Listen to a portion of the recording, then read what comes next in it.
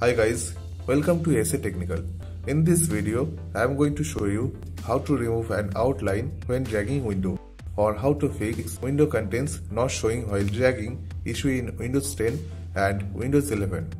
Window contents are not shown while dragging. This is occur when an option show window contents while dragging is disabled on RDS host and or a local PC.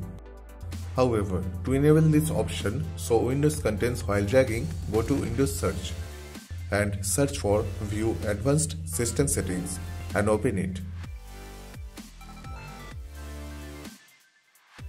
After that, click on Performance Settings.